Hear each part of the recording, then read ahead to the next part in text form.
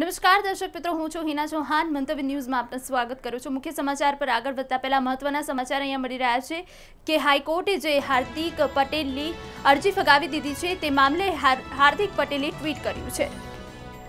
હાર્દિક પટેલે ટ્વીટ કરીને જણાવ્યું છે કે અમે ડરવાના નથી.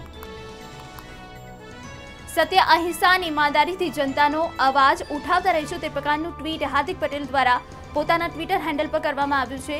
જનતાની સેવક કોંગ્રેસ સાથે મળીને કામ કરીશું. પાર્ટી માટે ગુજરાત સહિત દેશમાં પ્રચાર કરીશું. મારો કસૂર ફક્ત એ છે કે હું ભાજપ સામે ઝૂક્યો નથી. તેવા પ્રકારનું ટ્વીટ હાર્દિક પટેલ દ્વારા કરવામાં આવ્યું છે. આપ દ્રશ્ય જોઈ શકો છો.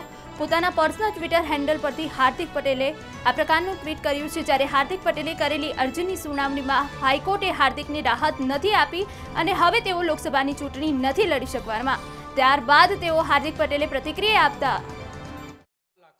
અને જે જજમેન્ટ આવ્યું તો આપ એના કરેલા પાપનું પરિણામ છે.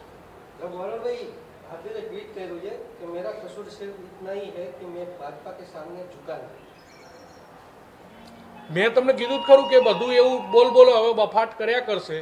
જ્યાં સુધી લોકસભાની ચૂંટણી નહીં પતે ત્યાં સુધી એને જે પાર્ટીમાંથી પગાર મળતો હતો બે હજાર સત્તરમાં અંદર ખાને રોકડામાં મળતો હતો હવે કદાચ ચેકથી મળતો હશે.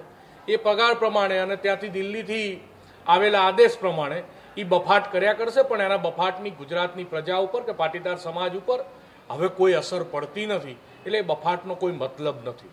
બે દિવસ પહેલા જ કોંગ્રેસના પ્રભારી તો હાર્દિક પટેલનું આ પ્રકારનું ટ્વીટ સામે આવ્યું છે કે પાર્ટી માટે ગુજરાત સહિત દેશભરમાં પ્રચાર કરીશું.